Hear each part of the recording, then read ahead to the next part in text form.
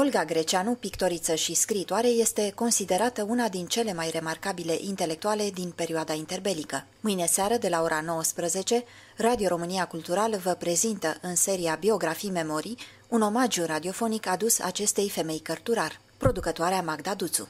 Vă propunem în premieră un uh, spectacol radiofonic special, cu un mesaj special despre o persoană remarcabilă, un model de viață și de trăire creștină, Olga Greceanu, unul dintre cele mai cunoscute nume ale artei plastice românești. Spectacolul Olga Greceanu pe urmele pașilor tăi Iisuse a fost realizat după un uh, scenariu alcătuit de Costin Manoliu, de la jurnalul de amintiri Pe urma pașilor tăi Iisuse, pe care Olga Greceanu l-a scris în urma pelerinajului făcut în Egipt și Israel.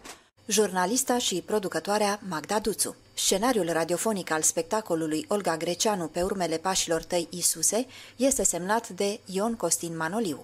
Cred că în urmă cu mai bine de 10 ani am văzut-o la televizor pe doamna Adina Nanu, vorbind despre Olga Greceanu și vă mărturisesc că eu atunci am auzit pentru prima oară despre această mare pictoriță româncă.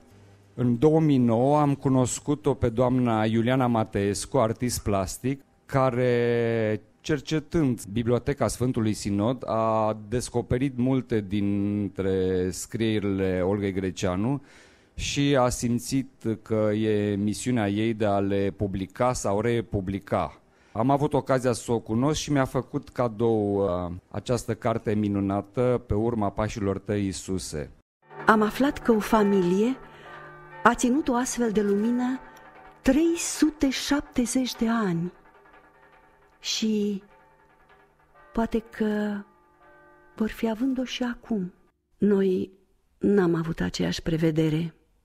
Am venit cu o lumânare care a ars până s-a stins în noi însă arde de-a pururea credința învierii lui Hristos. Pentru prima dată, cunoscutul actor Dan Puric semnează regia unui spectacol radiofonic. A ales să monteze dramatizarea Olga Greceanu pe urmele pașilor tăi, Isuse. Nu este o piesă, e un fel de liturghie radiofonică. Și ea se ascultă în liniște, se ascultă seara și eu bănuiesc că și cei mici vor putea să aibă acces Mă gândesc să facem o premieră în toamnă la teologie, la studenți, să dăm aceste CD-uri și prin mănăstiri și prin biserici și să le dăm la cei care încă mai țin la, la România. Protagonista acestui eveniment editorial propus de Teatrul Național Radiofonic este actrița Maria Ploaie, cea care dă voce artistei Olga Greceanu. Cred, acum, în urma audiției, că spectacolul nostru, piesa noastră, își va atinge scopul în sensul că va fi așa cum a fost scrisă cartea spre zidirea omului, nu spre rătăcirea lui, așa cum foarte frumos spune Dan Verona în poezia sa Invocare către Sfântul Mucenic Filimon, Sfântul Mucenic Filimon fiind patronul artiștilor. Mă bucur foarte mult că s-a făcut acest lucru. Sper să fie spre bucuria noastră și spre întărirea credinței noastre și spre regăsirea credinței a celor care întâmplător ascultă și poate nu au. Actrița Maria Ploaie în tinerețe, criticul și istoricul de artă Adina Nanu a cunoscut-o pe Olga Greceanu. De peste două decenii, Adina Nanu a încercat să dea de urma unor frește semnate de Olga Greceanu. A reușit să o găsească și să o restaureze pe una dintre ele, aflată în incinta primăriei sectorului 1.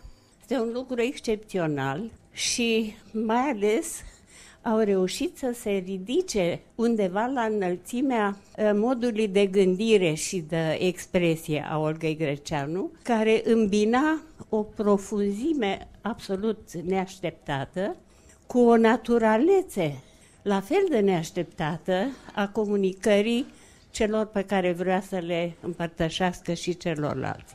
Criticul și istoricul de artă Adina Nanu, autoarea singurei cărți de Istoria costumului din România. Eu personal am descoperit-o pe Olga Greceanu în arhivele radioului public. Aici i-au fost păstrate câteva conferințe din perioada celui de-al doilea război mondial. Vă invit să o descoperiți și dumneavoastră prin intermediul sunetului realizat cu măestrie sub genericul Teatrul Național Radiofonic. Ascultați mâine seară de la ora 19 Biografii memorii. Olga Greceanu pe urmele pașilor tăi, Isuse